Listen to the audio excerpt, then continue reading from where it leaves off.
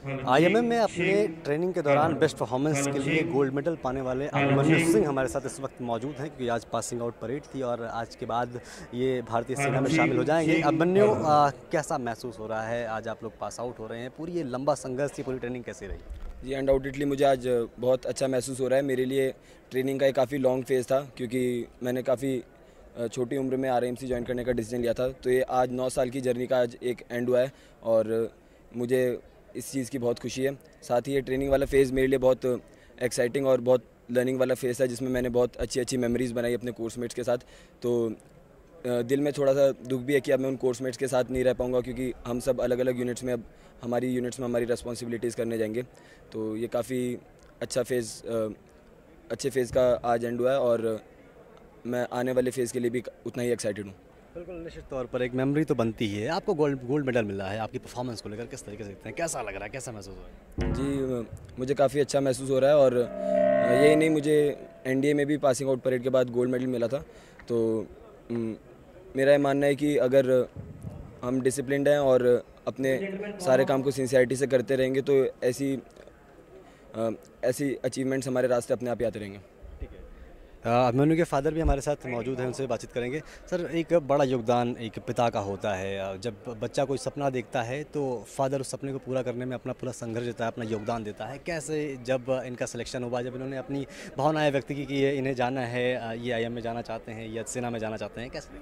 जी आ, क्योंकि हमारा background defence का ही रहा है तो क्लास एट्थ के अंदर हमारे लिए एक बहुत हार्ड डिसीज़न था इसको आर में छोड़ने के जब हमको छोड़ना पड़ा। लेकिन क्योंकि हमको बताया कि बड़े काम करने के लिए आपको सेक्रीफाइसेस करने पड़ते हैं तो हमने वो सेक्रीफाइस किया और इसके बाद में इसने पाँच साल तक आर के अंदर ट्रेनिंग ली, उसके बाद में एन में तीन साल की ट्रेनिंग ली और उसके बाद में एक साल ये आई और इसने अपने आप को लगातार प्रूव किया। आर में भी ये प्रेसिडेंट गोल्ड मेडलिस्ट था। एनडीए के अंदर भी ये प्रेसिडेंट गोल्ड मेडलिस्ट था और आईएमए में भी हम आ, आ, क्योंकि हमको फिर अपने आप ही एक्सपेक्ट होने लग गया कि हमारा बेटा ऐसा परफॉर्म करता है तो definitely he will get any medal और इसने अपने आप को प्रूव कर दिया।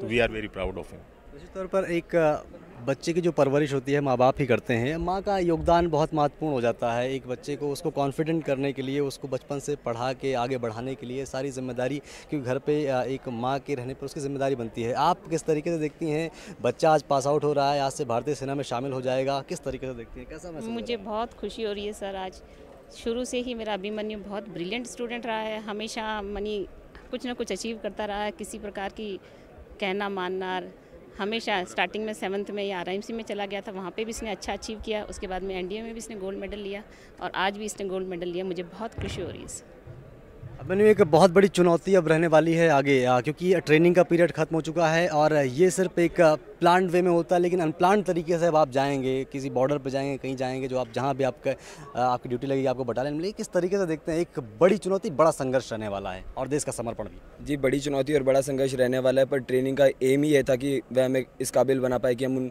नई चुनौतियों का और उन संघर्ष को, संघर्षों का अच्छे से सामना कर पाएँ। तो मुझे अपनी ट्रेनिंग पर पूरा विश्वास है।